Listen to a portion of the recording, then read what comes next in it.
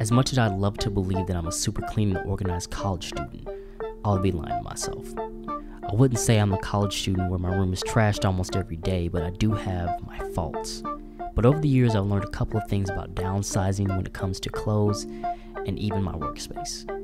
When you go to YouTube and you search college room essentials, you'll see a whole bunch of YouTubers cashing out, saying what you need for your college room. But a harsh reality is, you really don't need the majority of the things they're talking about. So realistically, you know, let's say you have all the trinkets, you have the the futon stretched out in your dorm, you know, and when you come in, it's just aesthetically pleasing. It's, it looks like you know this top-notch apartment. When you're coming home after you know being at the library, coming from a study group, and you have a test the next day, you have a lot of stuff to get over. You're gonna have to jump over the futon, and if you have a roommate, you have to figure out how to get into the bed off the futon. So let's say you know you wake up one morning and you're late for class.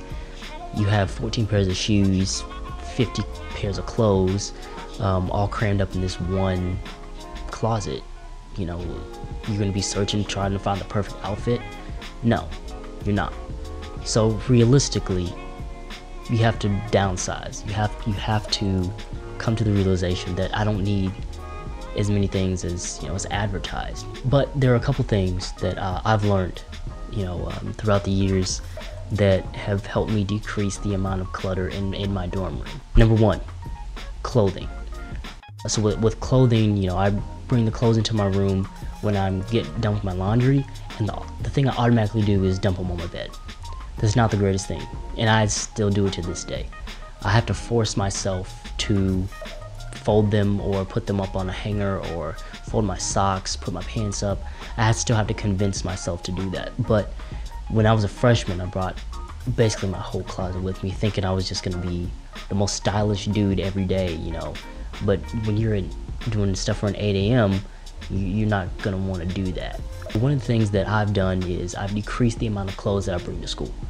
Now I have limited my my clothing selections.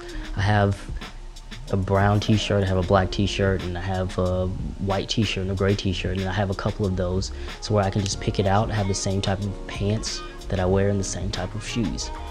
Um, and it may be different, you know, for your fashion styles, but I don't need a full sweater right now. I don't need, you know, boots right now. I'll switch them out when the seasons begin to change, but I don't need all those things all at once. If you are someone who's coming from, you know, out of state, invest in some bins some bins, are some perfect things that you can have. You can just pull it out and switch from summer clothes to the to the fall or winter clothes. Also, I purchased a small shoe rack that I can just put my shoes on. I have a, a tendency of just kicking off my shoes, sort of leaving them there. But if you know have a roommate, that's probably not going to be the best thing. So having a shoe rack, putting your shoes in there, so when you actually get home from class, you, know, you can just put your shoes in the closet and then be done with it. The second thing, my workspace. I have an interesting relationship with my workspace. Um, you might know it as a, a desk. My desk is cluttered sometimes. The majority of the time is cluttered.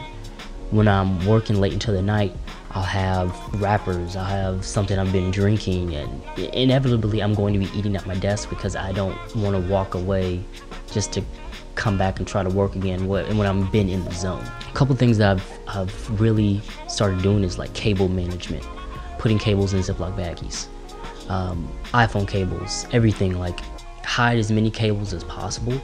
You know, if you don't have the Ziploc baggies that you can store away, ultimately people don't like to talk about it, but cables, they cause a distraction.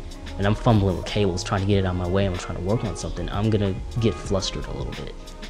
Secondly, I would have little uh, little hangers like command hooks put it on the side of my desk so I can hang cables there you know maybe an iPhone cable something I use frequently and I also have this thing where I um, put my headphones on if you use headphones I don't like to just sit them straight on the desk so I put the headphones on, on the little rack that I have and I keep them there so when I need them put them on when I don't need them I take them off and I leave them there those are the two main things that I personally deal with, and I think that really cause clutter in a dorm room.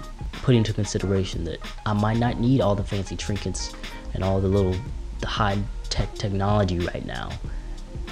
I just need what I need. I think that's the main thing. I need what I need. So Till next time, declutter, keep grinding. This Deuces.